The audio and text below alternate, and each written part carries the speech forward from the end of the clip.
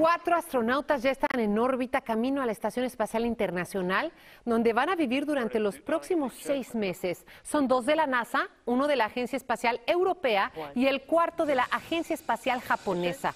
Fueron lanzados con éxito esta mañana por un cohete Falcon 9 de SpaceX a bordo de la cápsula Crew Dragon. Los mismos aparatos que ya estuvieron en el espacio en noviembre.